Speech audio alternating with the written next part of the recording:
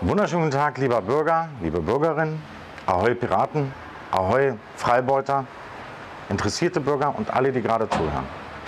Am 17., das ist diesen Samstag, findet eine absolut wichtige Demonstration statt. Und zwar gegen TTIP und auch gegen CETA.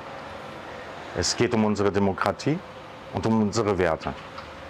Wir, das sind die Parteien, die APOS, die aufrufen, auf die Straße zu gehen, in den Standorten zum Beispiel in Berlin, in Köln, in Stuttgart, in Frankfurt und vielen anderen Städten. Es geht darum, dass ein Freihandelsabkommen nicht frei ist, nur weil es der Name drin ist. Die Demokratie als solches wird aus meiner Sicht mehr als umgangen.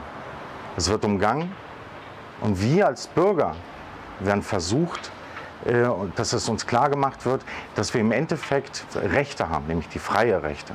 Diese freie Rechte kommen in diesen Abkommen nicht vor. Ich bitte euch bitte Sie, bitte jeden, der auch nur ansatzweise Zeit hat, am 17.09. zur Demonstration hinzukommen. Wir Piraten, wir rufen dazu auf und sind seit Anfang an gegen ein TTIP und gegen CETA.